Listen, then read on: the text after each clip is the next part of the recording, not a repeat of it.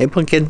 Pumpkin, where you going? Why, why you gotta leave as soon as I turn the camera on? Every single... And there goes the other cat. Everyone's so camera shy today. That's fine. Whatever. Hey, what's up, garden friends? Jeff, your tropical plant party. How's everybody doing? I hope you're good. I am great. Been a minute since we've done just like a vlog or gone around and looked at plants. And there wasn't even an October garden tour. Not much changed. There wasn't a lot to talk about in the garden. So I thought I would go ahead and do like an October, November sort of like a hybrid. Here's what's been going on in the garden sort of tour.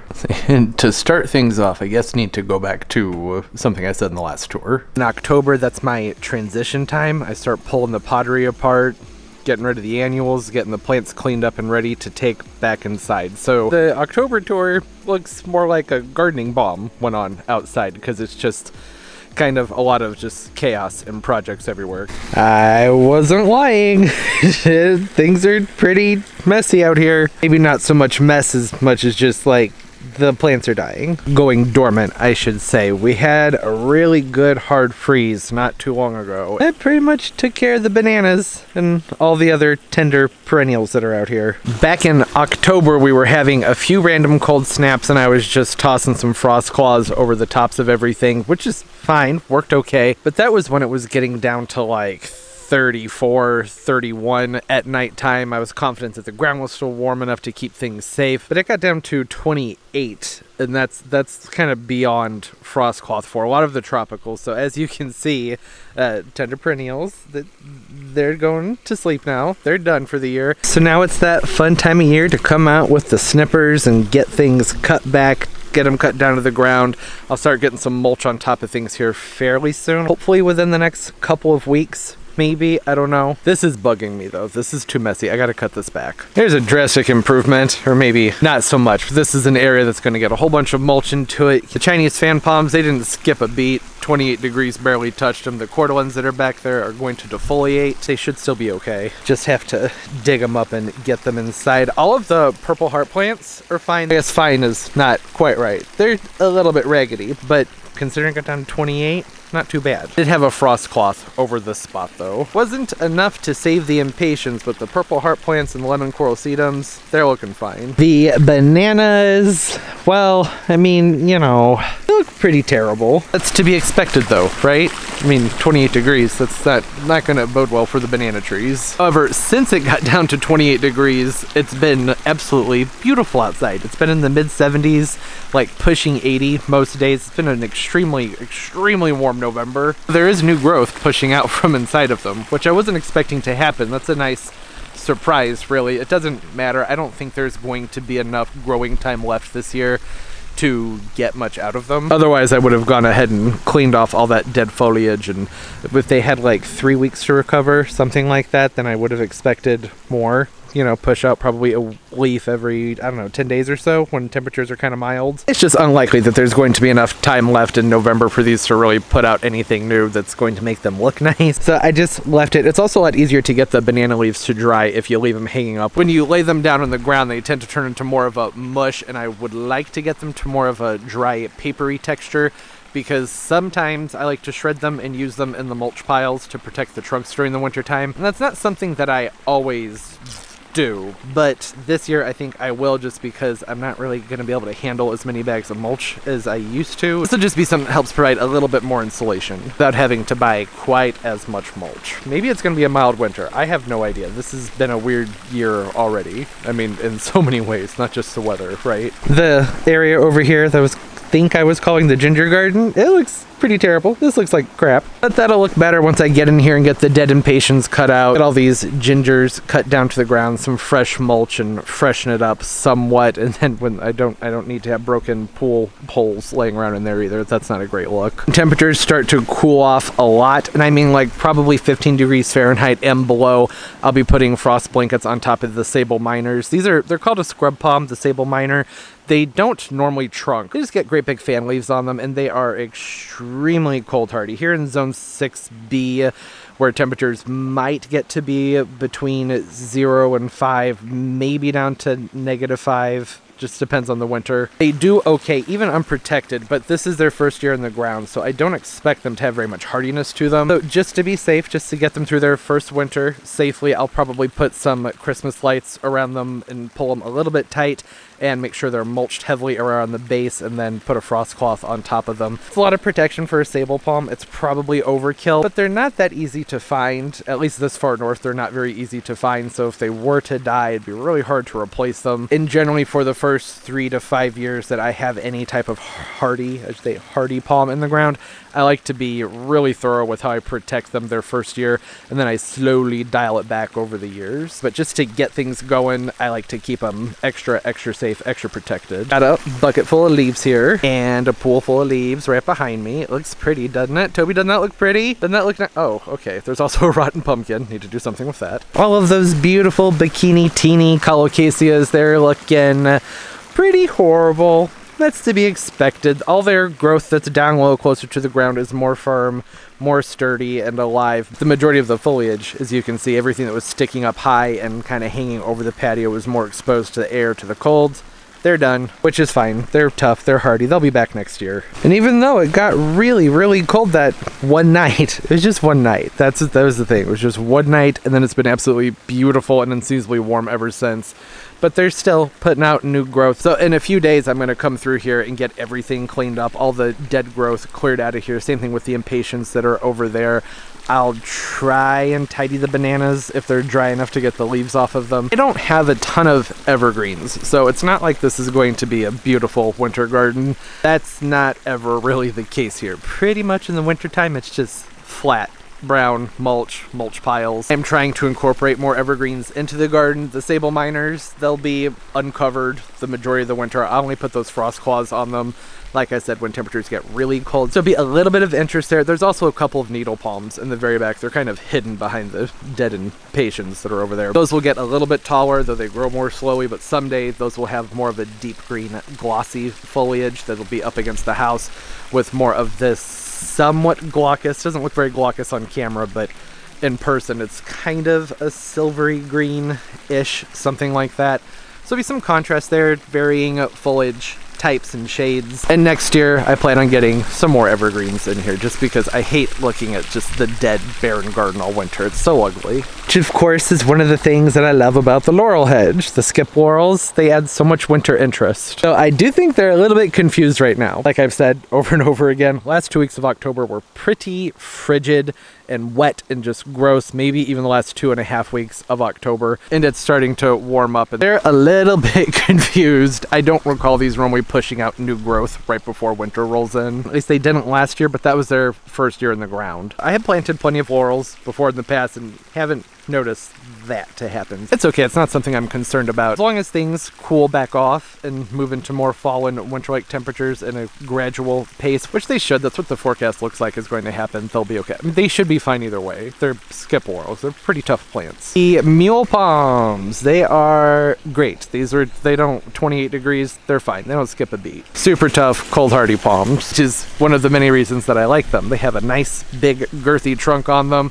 They get the little boots, lots of texture on the inside, though right now it's full of oak leaves. I don't normally move these palms and the mule palms until it's dropping into the teens, something like that. Dune grass is standing out and looking nice, even though it's like piled up a bunch, a bunch of dead stuff, that's okay. I don't know what happened here. Apparently at some point this banana tree got cut and chopped. I didn't do it at least not that I I don't remember to I, why would I don't what happened here I've had people out here helping me with things so maybe somebody just decided they want to cut the top off of that one truck I don't know. Doesn't really matter. Growing time's over for the bananas. There's more gingers over here that need to be cut back. The banana cannas, you can kind of see where they topped off and then met their doom. So these all need to be cut back. With the cannas, I usually cut them to being like maybe like a four inch stub, just a little nub sticking up above the ground. And then I mulch them very, very heavily. Both of the clumps that I showed you, this one and the one that was over there, they're pretty close to the pavement, to the driveway. So that actually should help keep their roots a little bit warmer during the winter time. But even still, just to be safe, they'll get cut back and get a whole bunch of mulch on them. The alocasias and colocasias, they're no more, no more. They're going. All of these that go around this trunk right here, those are going to get cut back a little bit further and then more mulch. Lots and lots, lots of mulch on top of them. They normally are winter hardy here. If we have a really bad winter, it's not always guaranteed that they'll survive, but they normally do. And if they don't, I got these in bags from Sam's Club. They're like four bulbs per bag, and I think they were $5. So they're easy to replace if we have a really bad winter, but again, I don't really think that's going to be an issue. I'm also really not even planning on keeping these in the ground here next year. I just kind of stuffed these in here or had other people stuff them in here for me because they needed to be planted, but where I wanted them to be planted, it was going to be a really big project. To summarize though, along the area of this back wall here where there is enough sun, I wanted to have a whole wall of the banana, not the bananas, of the elephant ears, a whole wall of the elephant ears coming up over the wall, planted up high that provide a nice green wall, look really tropical, low maintenance, just drop a drip head on each one of them, but that'll have to wait for next year. Hey Tobes, how you doing, bud? You want to say hi? No? Okay. The only palms I have left out here are the queen palms. There's two of them out here. Uh, one night of cold, that's fine. They're okay. They can handle it. Uh, one night of cold really didn't affect them. Sometimes it takes several days or even several weeks, depending on the plant, for cold damage to show itself on the plants. It's been about a week and a half since that cold snap, so I'd be seeing any damage on these by now. And even if it, these could completely defoliate and with enough fungicide and enough TLC, they'd shoot out new growth and look totally fine with it a few months. To a degree, right? I mean, if it were to be like 10 degrees outside, well, that would probably kill them. And realistically, to get this into my grow space, I'm gonna have to do some pruning anyways, because this thing, it grew a lot this year. Why is the lighting so bad? you get it. It's really big. So the queen palms are still out. Those Sabal minors I showed you before, the needle palms, those are in the ground. They're tough plants. The mule palms, they'll be fine for several more weeks probably. And the windmill palms. I'm out here in the back and then I'm the front yard. I think the last video I posted or the video prior to that, I planted some kales and cabbages around the base of those smaller windmill palms. The ones I have back here are much bigger and much older. Oh, and look at this. This looks different from last time you guys were back here, doesn't it? Yeah, there's a lot of cleaning to do. And yes, there are some dead plants. I didn't take everything inside. I've been in kind of a purging mentality the last few months, and I've gotten to a point where any plants, if I'm not like, really attached to them, I was like, they can go. Normally, if I get sick of a plant, I of course try to give it away, but with COVID and everything going on, that's more difficult. And then uh, there's also toxicity issues, like my Ficus lyrata, the fiddly fig. That's the plant that I have, but I just I just don't care about it. And I've had it for years, and I don't really know why. it takes up space.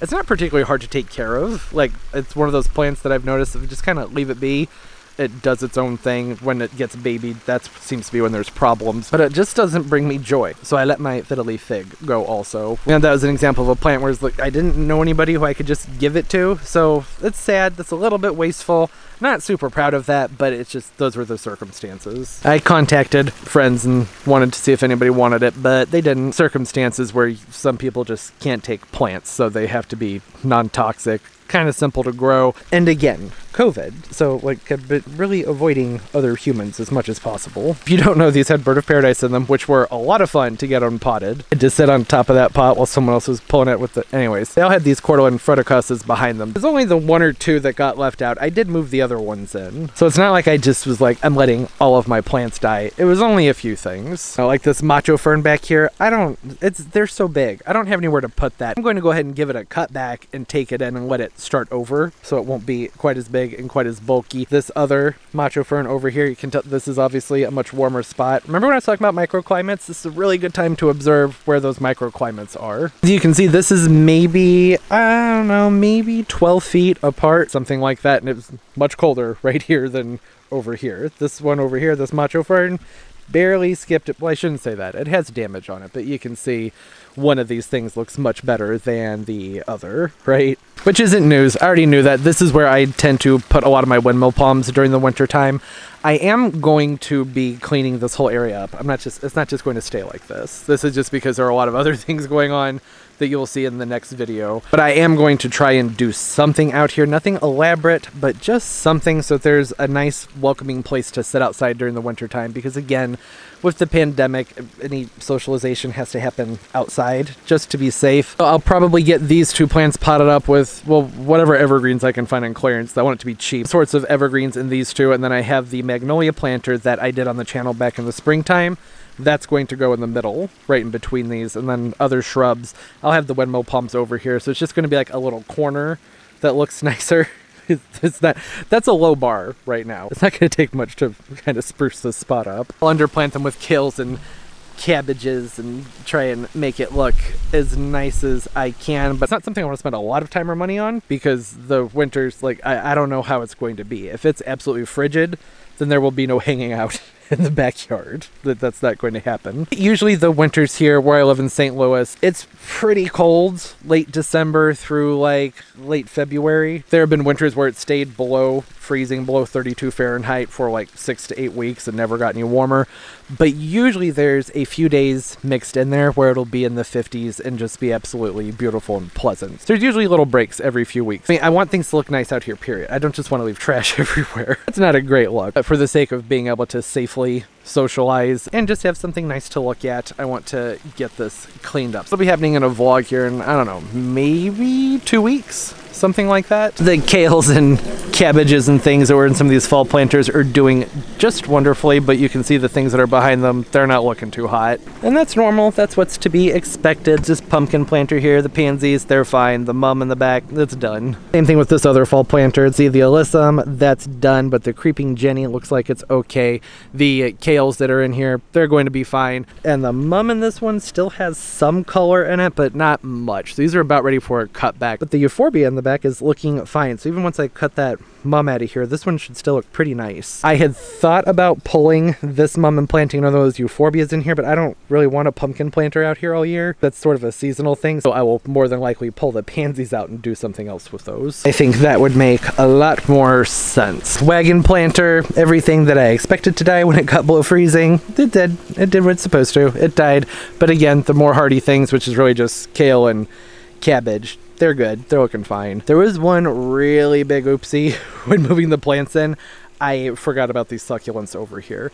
But I got lucky and they're okay. Which I'm shocked by, but it was a dry cold and the soil is fairly dry in here. Uh, I was really expecting this aeonium to bite the dust at 28 degrees. I remembered the next morning that I had forgotten to bring the succulent planter in. It's not like a beautiful succulent planter, like not at all. It's pretty hideous. But this aeonium that's in here grew so incredibly well this year that it would be a shame to lose it to just like one really cold night. I got really, really lucky there, especially considering this is an elevated spot, so I wouldn't expect it to stay as warm, but it was probably somewhat sheltered being back here by the house. Aeoniums and echeverias, depending on the types, they actually can be fairly cold hardy. Not cold hardy to where I live, but a lot of them can be grown in zone 8, and zone 8 can drop into the upper 20s. It happens, so it makes sense that they survived. I, like I said, though, I just wasn't expecting it. That was a pleasant surprise. Needle palms are looking good. I don't protect these two needle palms here until temperatures get to like, I don't know, 5 degrees to 0.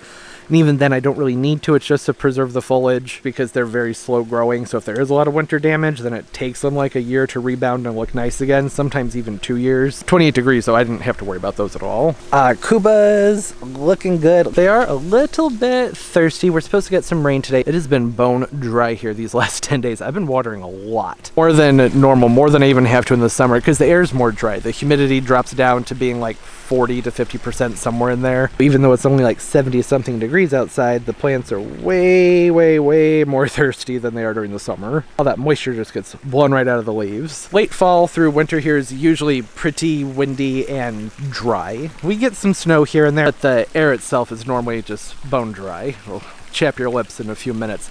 That cold came out of nowhere, so some of the plants that normally have some kind of nice foliage like this Natchez crepe myrtle here, that didn't it didn't really get to put on a show because it just it didn't see it coming. Poor thing. It's okay though. The plant's all right. That's all that matters. Yeah, I could walk around and talk about the garden bed for a ridiculously long time, but I think you get the point. It got cold and now that everything just looks terrible, which is fine. That's just part of it. That's part of fall. Majority of all the tropicals and semi-tropicals have been moved inside, and that was a process. Almost everything that was out here all summer long, now that's all in here all in the garage. And there will be a video on everything that was going on the last few weeks in regards to the plant moving, setting up the grow space. That video will be out after this one.